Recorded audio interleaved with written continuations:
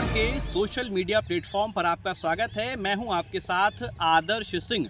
बहुचर्चित चारा घोटाले के मामले में बिहार के पूर्व मुख्यमंत्री, पूर्व रेल मंत्री और साथ ही साथ राजद सुप्रीमो लालू प्रसाद यादव की जमानत याचिका पर सुनवाई एक बार फिर से टल गई है।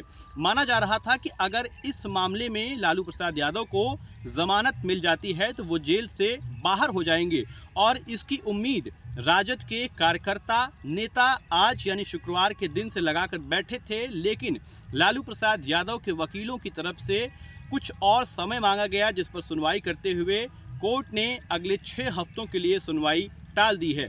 फाइट कॉपी जो पिछले बार कोर्ट ने क्वेरी किया था हाफ़ सेंटेंस का हो रहा है। लोअर कोर्ट रिकॉर्ड के ऑर्डर सीट से सर्टिफाइड कॉपी के लिए अप्लाई किए हुए हैं। हाँ, उम्मीद है कि 10-15 दिन में मिल जाएगा। हाँ। तो उसके बाद फिर लोग पंद्रह दिन का समय ले रहे हैं।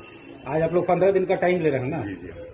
तो मतलब कि ये बेल प्ली आज तो अब नहीं हो रहा है। नहीं सुनवाई आज आज नहीं। हो पाएगा जब हम लोग टाइम दे तो रहे हैं। इसका मतलब हम लोग जनवरी में कभी मान के चले? जी अब मंजूरी में देख लेते हैं। क्योंकि ये तो अब तो छुट्टी हो जाएगा तेईस तारीख बाईस तारीख हाँ अब एक्समास के बाद ही होगा। क्रिसमस के बाद ही। मतलब ये नया साल में हम लोग मान के चले। आपको बता दें कि लालू प्रसाद यादव पर देवघर और चाईबासा कोषागार के मामले में जो सज़ा उन्हें हुई थी उस पर पहले ही जमानत मिल चुकी है। आधी सज़ा पूरी करने की वजह से वहीं डोरंडा जो कि रांची में स्थित है कोषागार के मामले में लालू प्रसाद यादव की सुनवाई निचली अदालत में चल रही है।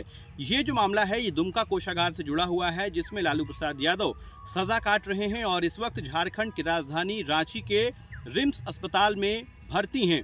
लालू प्रसाद यादव पर इससे पहले भी दुमका कोषागार से जुड़े मामले में सुनवाई हुई थी और दो बार सुनवाई के बाद भी कोई निष्कर्ष नहीं निकल पाया। इस बार ये माना जा रहा था कि लालू प्रसाद यादव जेल से बाहर आ जाएँगे। इससे ठीक पहले सीबीआई की तरफ़ से एक अपील की गई थी कोर्ट में, जिसमें ये कहा गया था कि लालू प्रसाद यादव जेल में रहने के दौरान जेल के नियमों का उल्लंघन कर रहे हैं, फ़ोन से बातचीत कर रहे हैं और साथ ही साथ बिना जेल प्रशासन को जानकारी दिए लोगों से मिल भी रहे हैं।